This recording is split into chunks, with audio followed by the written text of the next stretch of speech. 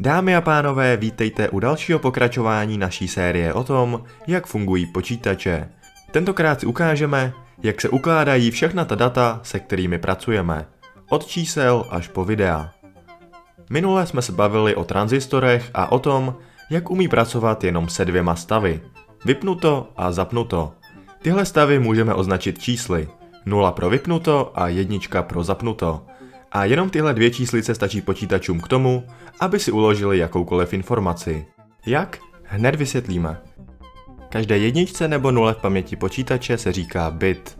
Pro uložení jednoho bitu stačí jeden tranzistor a jeden kondenzátor. To je taková jednoduchá součástka, která dokáže držet náboj. Podle toho, jestli je kondenzátor zrovna nabitý nebo vybitý, je uložená buď jednička nebo nula. Nic ale nefunguje dokonale a náboj se z kondenzátoru postupem času vytrácí.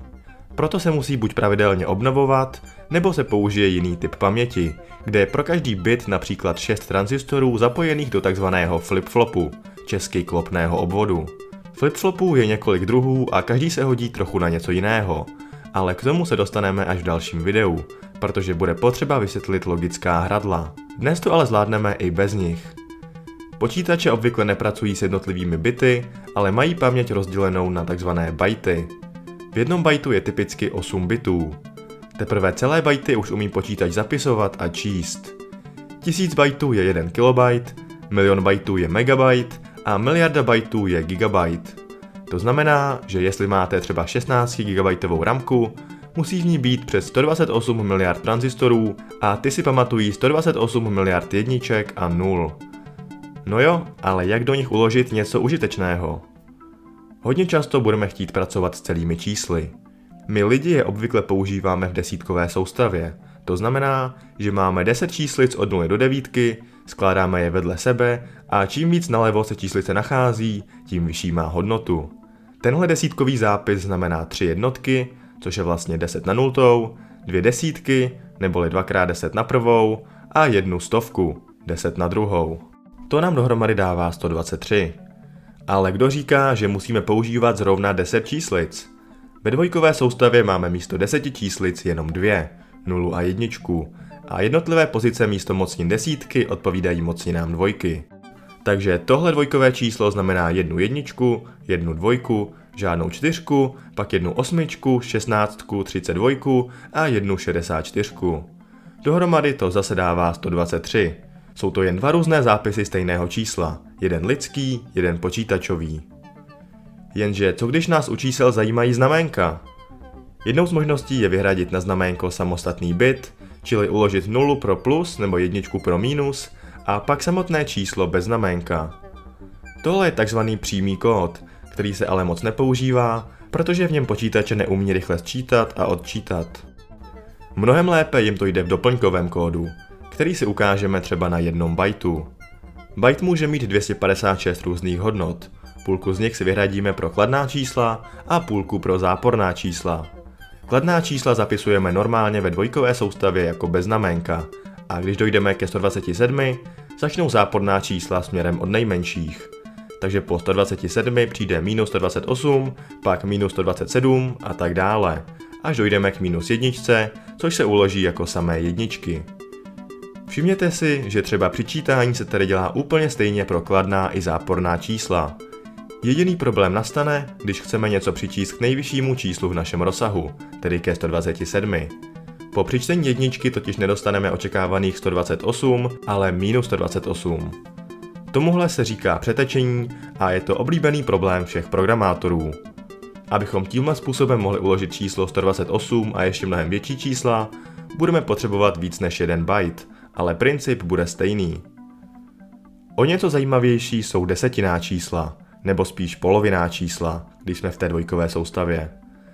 Nejjednodušší by asi bylo vyhradit část paměti na to, co je před desetinou čárkou a zbytek na to, co je za ní.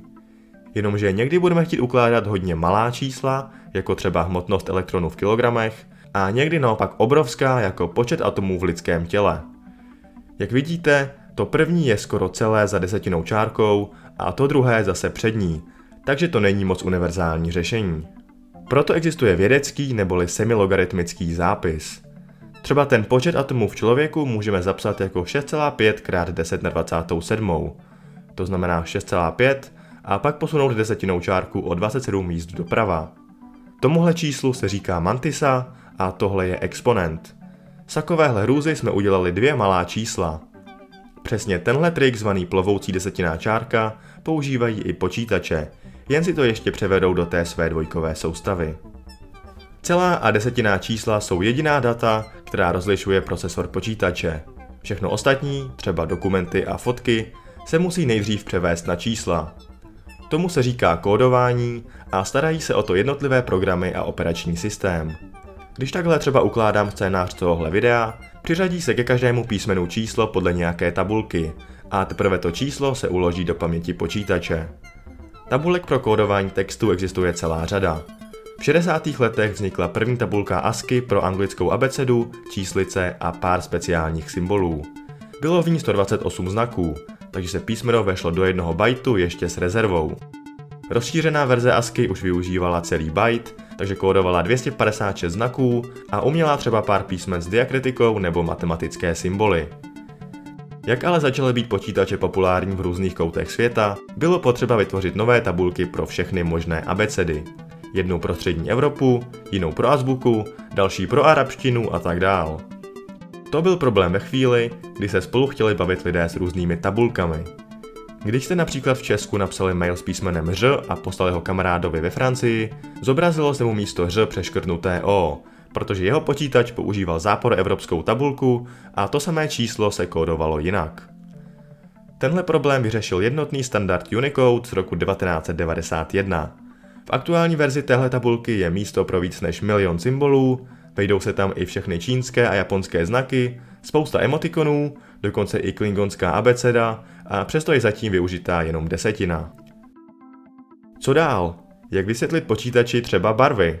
Tady se využívá toho, že čípky v lidském oku vnímají jen červenou, zelenou a modrou a všechny ostatní barvy jsou pouze kombinace těchto tří. I diody v displejích a monitorech většinou umí právě tyhle tři barvy. Například tady ta růžová není ve skutečnosti růžová. Je to směs 205 dílů červené, 81 dílů zelené a 111 dílů modré. Každá barva se tedy dá popsat třemi čísly v tzv. RGB modelu. To je zkrátka z anglického red, green, blue. Jakmile zvládneme barvy, můžeme z nich skládat obrázky. Třeba tahle fotka není nic jiného než mozaika ze spousty malinkých barevných čtverečků, takzvaných pixelů. Když ji hodně zazumujeme, uvidíme jednotlivé pixely a bude to vypadat neostře. To je příklad rastrové neboli bitmapové grafiky. Stačilo by si tedy zapamatovat ty tři čísla popisující barvu pro každý pixel a někdy se to tak opravdu dělá, ale jelikož dnešní fotky bývají složené z milionů pixelů, tak by tohle zabíralo moc paměti. Většina obrázků proto používá fígl zvaný komprese. Třeba když je půlka fotky jenom modrá obloha, je přece zbytečné si do paměti ukládat kód modré barvy milionkrát za sebou. Stačí si poznamenat od prvního po miliontý pixel modrá. Další způsob, jak výhodně ukládat obrázky, je vektorová grafika. Ta vůbec nepoužívá pixely, ale pamatuje si, z jakých čar a tvarů je obrázek poskládaný, což na fotky sice nestačí, ale pro loga a schémata je to ideální. Tohle logo Ediska jsme si taky uložili jako vektorovou grafiku, takže náš počítač si nepamatuje hromadu pixelů, ale jen to, že je tam tlustá bílá kružnice na černém pozadí a dvě vodorovné bílé čáry tady a tady. Vektorová grafika má oproti rastrové výhodu v tom, že se dá zoomovat do nekonečna a vždycky bude vypadat dokonale ostře, právě proto, že se místo hranatých pixelů pamatuje i zaoblené tvary a křivky. Ukládání písniček nebo jiného zvuku taky není žádná magie. Zvuk je jenom vlnění vzduchu, takže když ho chceme uložit do počítače, stačí tyhle vlny změřit. Aby to znělo dobře, tak asi tak 44 000krát za vteřinu. A tyhle naměřené hodnoty si zase uložit jako čísla. No a videa, jako třeba to, na které právě koukáte, už jsou jen obrázky, které se rychle střídají a k tomu nějaký ten zvuk a komprese. Takže ve výsledku zase jen dlouhatánské řady jedniček a nul, které teď po internetu míří k vám. Jestli nás sledujete ve Full HD kvalitě, tak váš počítač přijímá asi 5 milionů bitů každou vteřinu. Takže to by byl takový přehled toho, jak se v počítačích ukládají některá zajímavá data. Samozřejmě to není všechno, počítače pracují se spoustou dalších souborů a formátů a používají další triky, jak paměť ušetřit, ale pro představu to zatím stačilo. Vždycky jde prostě jen o to vymyslet, jak věci převést na čísla. Jako vždycky bychom chtěli poděkovat našim příznivcům na Patreonu, kterých je čím dál tím víc a máme z toho ohromnou radost. Pokud byste rádi přispěli spíš jednorázově, budeme moc rádi za každý příspěvek přes tlačítko díky přímo tady pod videem. Každopádně ale děkujeme vám všem, kdo nás sledujete, odebíráte a píšete komentáře. Mějte se krásně a zatím čau čau.